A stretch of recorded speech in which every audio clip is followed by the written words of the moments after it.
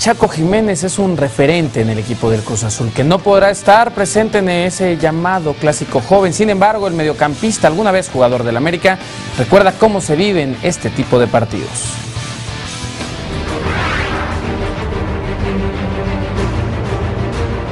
Cristian Jiménez no estará presente en uno de los partidos vitales para Cruz Azul ante el América.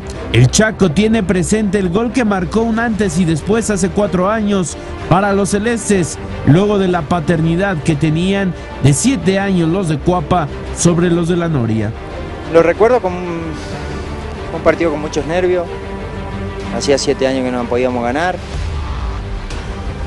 Eh, y nada, tarde o temprano el trabajo eh, da su fruto, ese partido lo trabajamos mucho, salimos concentrados y creo que,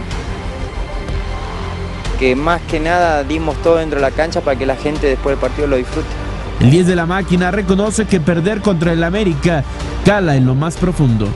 Acá en Cruz Azul es un clásico, los clásicos yo creo que sí tiene una relevancia el clásico con Chiva, el clásico con Puma, pero con América creo que es...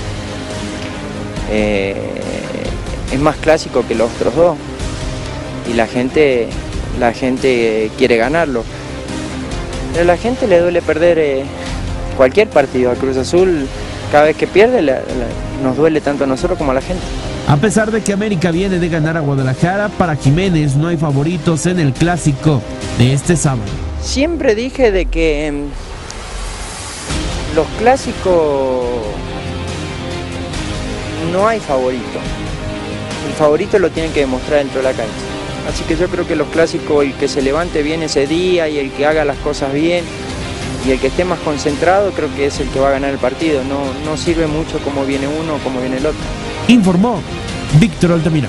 Adrenalina. Entérate de lo último acontecido en los deportes. Te invitamos a ver los siguientes videos en Adrenalina.